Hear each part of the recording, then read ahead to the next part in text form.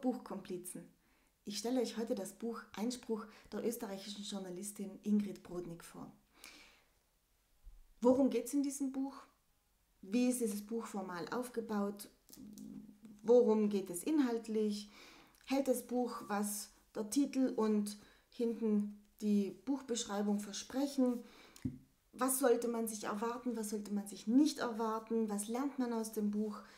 Für wen ist dieses Buch geeignet und hätte man das alles auch kürzer machen können? Das sind die Fragen, mit denen ich mich beschäftige und wir legen direkt los. Das soll doch jeder für sich selbst entscheiden. Jeder wie er mag, die Wahrheit liegt ja wahrscheinlich irgendwo in der Mitte. Das sind die Sprüche, die ihr kennt, habt ihr sicher auch schon selber gehört oder vielleicht sogar selber verwendet. In diesem Buch geht es darum, warum das eben nicht immer so ist, warum es nicht immer egal ist, was andere Leute denken, warum die Wahrheit nicht immer in der Mitte liegt und nicht immer in der Mitte liegen kann. Und es geht auch darum, warum es gefährlich ist, wenn Menschen in Verschwörungen abdriften und was man tun kann, um sie zu unterstützen, da wieder rauszukommen. Das ist hier das Thema, das erzählt uns Ingrid Brodnik. Schauen wir uns ein bisschen äh, genauer an, was da drauf steht. Vorne steht drauf Einspruch, Verschwörungsmythen und Fake News kontern in der Familie, im Freundeskreis und online. Vielleicht seid ihr auch schon in Online-Diskussionen reingeraten mit Leuten, die völlig anderer Meinung waren als ihr. Und dann habt ihr vielleicht erlebt, wie frustrierend das sein kann. Es führt am Ende zu nichts. Es wird vielleicht immer hässlicher. Es kommen Beschimpfungen und ähm, man geht dann frustriert aus dieser Diskussion raus, hat am Ende gar nichts bewirkt oder vielleicht sogar dazu beigetragen, dass die andere Person sich jetzt erst recht sicher ist, dass sie die große Verschwörung durchschaut hat und ihr nicht beispielsweise. Und da kann man vielleicht zur Strategie greifen, ja, dann lasse ich es, dann rede ich schon gar nicht mehr, sollen die doch glauben, was sie wollen. Aber wenn diese Menschen uns wichtig sind, wenn sie in unserer Familie sind, wenn sie unsere Freunde sind, dann wollen wir eben nicht, dass die glauben, was sie wollen, sondern wir möchten, dass sie sich selbst nicht schaden und dass die Familie oder der Freundeskreis oder unsere Freundschaft zu ihnen dadurch nicht gefährdet werden. Und das ist hier der Punkt. Und hier wird es schon ein bisschen äh, fast schon großspurig angekündigt. Hier kommt die Impfung gegen unsinnige Argumente. Jetzt, wenn man ein Impfgegner ist, dann vielleicht zuckt man schon direkt zusammen, wenn man dieses Wort hört. Natürlich geht es nicht um eine reale Impfung, aber es geht ja um eine Strategie. Und das steht hier. Praktische Strategien für das Diskutieren mit Menschen, die Falschmeldungen und Verschwörungserzählungen glauben Wer rhetorische Tricks und die psychologische Anziehungskraft von Fehlinformationen versteht, kann klüger reagieren. So bleiben sie in hitzigen Debatten gelassen. Eine Anleitung für alle, die geschickter diskutieren wollen, denen Fakten wichtig sind und ihre Argumente auch bei aufgeladenen Themen zur Geltung bringen wollen. Also wir sehen, es geht eigentlich um Rhetorik, es geht um Argumentation und darum geht es auch viel darum, Fake News oder irreführende Rhetorik zu durchschauen und zu entlarven. Und das ist eben diese vielbeschworene Impfung. Denn zuerst müssen wir selber mal bei uns anfangen und uns quasi selber sensibilisieren für bestimmte Strategien und für bestimmte Tricks, mit denen solche Verschwörungserzählungen arbeiten. Und dann können wir darauf reagieren. Das finde ich eine Stärke des Buches. Brodnik beginnt immer beim Leser, bei uns. Nicht mit dem Finger auf andere zeigen, sondern zuerst mal bei uns selber anfangen. Denn wir alle, das ist auch eine wichtige Erkenntnis aus dem Buch, wir alle sind empfänglich für gewisse Erzählungen, für gewisse Manipulationen. Wie ist das Buch formal aufgebaut? Ich habe das für euch auch ein bisschen durchgeblättert. Ihr seht, es ist äh, kein sehr dickes Buch. Man hat es eigentlich relativ schnell gelesen. Es ist ähm, gut strukturiert. Es hat ähm, eine sehr kleine Inhaltsangabe hier vorne, wenn ich da mal schaue, das ist eigentlich in wenigen Blöcken da gestaltet. Große Überschriften, ein paar kleine Überschriften, dann geht es schon direkt weiter. Also man kann das wirklich ziemlich ähm, flott dahin lesen. Was natürlich auch toll ist, es ist äh, illustriert durchgehend, immer wieder mit größeren und kleineren Illustrationen, die auch ein bisschen auf den Punkt bringen, was im Text steht, so wir gegen das Böse zum Beispiel oder auch ganz nett hier. Dieses war für mich fast die beste Illustration, einfach weil sie so schnell auf den Punkt bringt, warum die Wahrheit eben nicht immer in der Mitte liegen kann. Wenn man davon ausgeht, die Erde sei eine Kugel oder andere sagen, die Erde sei eine Scheibe, dann ist es nicht so, dass die Wahrheit da in der Mitte liegen kann, weil wann, was ist dann die Erde? Ein Ei oder was ist die Mitte zwischen einer Scheibe und einer Kugel? Hm? Also ihr seht, da gibt es wirklich dann nur entweder oder.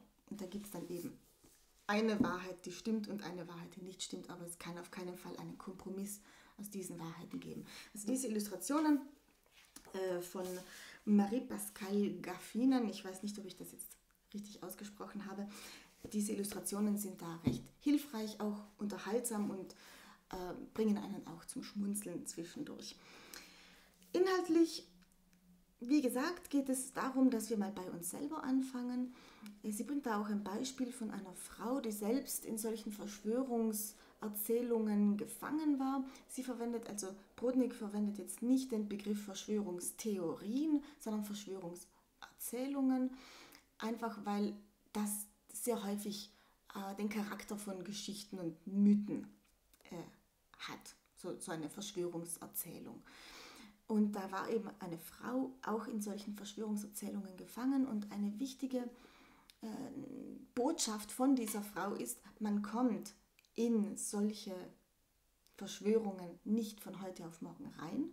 Es sind viele, viele kleine Schritte, die einen dorthin bringen. Und man kommt auch nicht in einem großen Schritt da wieder raus, sondern es sind viele, viele kleine Schritte, unter anderem eben Einspruch von Leuten, die einem wichtig sind und die einen dann nicht aufgeben. Das ist vielleicht auch ganz wichtig. Lass den Kontakt nicht abbrechen. Zeig dieser Person, dass sie dir wichtig ist. Diskutier vielleicht auch nicht immer über dieselben Themen, sondern auch über was Emotionales, über was anderes. Wie geht es dir eigentlich? Was ist eigentlich los in deinem Leben jenseits von diesen Verschwörungen? Denn nicht jeder, der ja etwas Abstruses glaubt, ist automatisch verloren und wird nie wieder rauskommen, sondern manchmal sind die Leute noch ganz gut empfänglich. Auch das ist vielleicht eine ganz gute Botschaft hier aus diesem Buch. Ja, hält das Buch die Versprechen, die es da aufstellt? Das muss man vielleicht auch ein bisschen selber ausprobieren, ob man mit diesen Tricks zurechtkommt. Was ich glaube, was das Buch schon macht, es kann einem die Augen öffnen für rhetorische Tricks. Es kann einem die Augen öffnen für die schwierige Suche nach der Wahrheit, denn das macht das Buch eben nicht. Es erzählt uns jetzt nicht, was ist die Wahrheit über irgendwas, sondern wie kann ich die Wahrheit finden oder der Wahrheit näher kommen.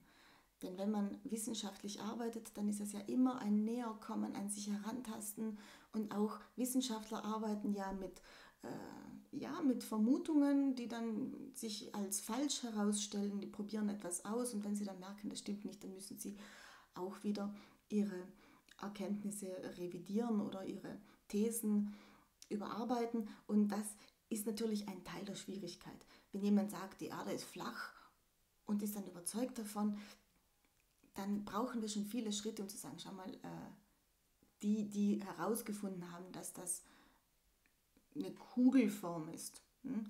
Die haben das auch nicht von heute auf morgen rausgefunden. Da gab es ganz viele, viele, viele äh, verschiedene Dinge, die dorthin geführt haben. Und das ist manchmal ein sehr mühsamer Weg. Jetzt das mit der Kugelform der Erde, das ist vielleicht jetzt auch ein Beispiel, das für uns heute selbstverständlich scheint. Aber denken wir an unsere Gegenwart, denken wir an die Geschichte mit Corona, wie viele Dinge da noch unklar sind oder wie wir uns am Anfang darüber ausgetauscht haben, wie wir heute über das Thema denken, was man am Anfang gedacht hat, was auch die Wissenschaft am Anfang darüber gedacht hat, was wir heute an Erkenntnissen haben und in ein paar Jahren vielleicht denken wir nochmal ein bisschen anders. Also das sind Prozesse, die sind jetzt gerade am Laufen und da passiert einfach extrem viel. Das kann verunsichern. Aber eben in diesem Buch sehen wir, wie solche Prozesse laufen. Wir bekommen auch ein bisschen Einsicht in dieses Entstehen von so Erzählungen. Das fand ich eigentlich sehr gut auf den Punkt gebracht. Brodnik ist äh, wahnsinnig sorgfältig in der Recherche. Sie zitiert viele, viele Studien. Sie bringt auch sehr viele Fachbegriffe auf Englisch, die sie dann schon auch immer auf Deutsch übersetzt. Die vielen Fachbegriffe sind vielleicht auf Dauer auch ein bisschen viel. Ähm, es zeigt natürlich, dass hier gut recherchiert wurde. Auf der anderen Seite muss man sich dann versuchen, das ein bisschen zu merken. Zum Glück ähm, bringt sie dann Beispiele auch immer wieder und wiederholt auch immer wieder so gewisse Erkenntnisse. Und da das Buch nicht so dick ist, finde ich, es ist zwar sehr kompakt und sehr äh, voll mit Informationen, aber letzten Endes in der Menge doch wieder erträglich. Was sollte man sich nicht erwarten von dem Buch? Ich habe schon gesagt, eine absolute Wahrheit wird hier nicht geboten. Hier wird uns nicht erzählt, wie die Welt wirklich funktioniert oder wo wir das Heilmittel finden für alle äh, Irrtümer. Das verspricht das Buch nicht und das können wir hier auch nicht bekommen. Und das ist eigentlich eine gute Nachricht, denn Bücher, die uns äh, erklären wollen, wie die Welt funktioniert, die gibt es ja schon noch und nöcher. Nicht alle Bücher sind da gleich seriös. Dieses Buch ist auch ein kleiner Einspruch gegen alle Welterklärer. Dieses Buch sagt auch da, Vorsicht, dieses ähm, klug schwätzende von manchen Leuten, die dann viele ähm, technische Fachbegriffe bringen, das kann auch ein rhetorischer Trick sein, um uns zu verwirren. Wie gesagt, auch in diesem Buch gibt es viele Fachbegriffe, die aber auch immer erklärt werden. Es gibt ein äh, ziemlich ausgiebiges Quellenverzeichnis. Wenn man sich interessiert, kann man dann auch wirklich zu den Originalquellen gehen und dann noch ein bisschen mehr dazu recherchieren. Es werden äh, Webseiten empfohlen, es werden Bücher empfohlen, Zeitungsartikel. Also wenn man da noch mehr in die Tiefe gehen möchte, dann hat man hier auch absolut die Möglichkeit, auch dahinter zu steigen. Und das finde ich eigentlich auch sehr gut. Ja, was lernt man am Ende aus diesem Buch? Bin ich dann am Ende wirklich gerüstet und geimpft? Kann ich dann wirklich quasi in die Diskussionsschlacht ziehen? Jein, würde ich jetzt mal sagen. Man lernt zunächst mal was über sich selbst, über unsere Wahrnehmung, wie wir eigentlich Wahrheit konstruieren, wie wir uns die Welt konstruieren. Das sind ja eben diese kleinen Schritte. Da kommt immer noch was Neues dazu, aber man kann jetzt eben nicht von heute auf morgen äh, die Welt verändern. Das ist auch hier bei diesem Buch. Wenn ihr das gelesen habt danach, dann seid ihr auch nicht auf einen Schlag andere Menschen. Jeder, der euch sowas verspricht, dieser Film wird euer Leben verändern, dieses Buch wird euer Leben verändern, der verspricht euch zu viel.